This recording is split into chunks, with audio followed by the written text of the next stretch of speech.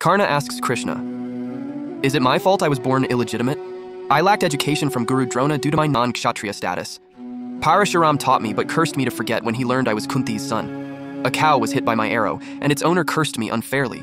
I was disgraced in Draupadi's Swayamvar. Kunti finally told me the truth only to save her other sons. Whatever I received was through Duryodhana's charity. How am I wrong in taking his side? Krishna replies, Karna, I was born in a jail.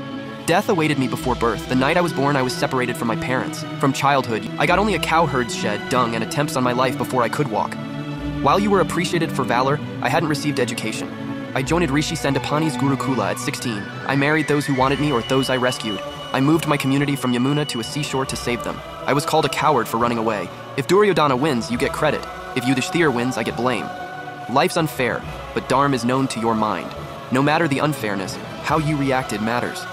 Life's challenges don't permit the wrong path.